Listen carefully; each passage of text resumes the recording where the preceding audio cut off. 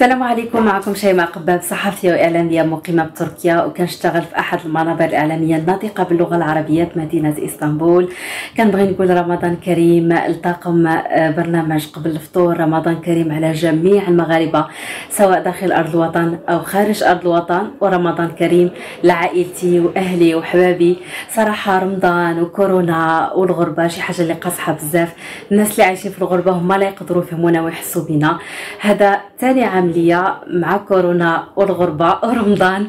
أه هكا كنحاول أنني نوفر ظروف أه ملائمة وبأزوينة من خلال التقاليد ديالنا والعادات ديالنا ومن خلال أك... أيضا الأكلات المغربية ديالنا. ولكن حتى شي حاجة صراحة ما كتكون قدام مائدة الإفطار مع العائلة والأهل والأحباب. شي حاجة اللي كنفتقدوها بزاف خصوصا في ظل جائحة كورونا. وبحكم أننا ما كنقدروش ننزلوا لبلادنا بحكم الإجراءات الاحترازية اللي كنقوم بها المغرب آه كنتمنى رمضان ديال هذا العام إن شاء الله يكون فاتحة خير علينا جميعا ويكون نهاية ديال أي حاجة خايبة وخصوصا جائحة كورونا. آه كنبغي نقول لكم من إسطنبول رمضان كريم بالصحة والسلامة وأي حاجة كتمنوها في حياتكم إن شاء الله. وكل عام وأنتم بألف ألف ألف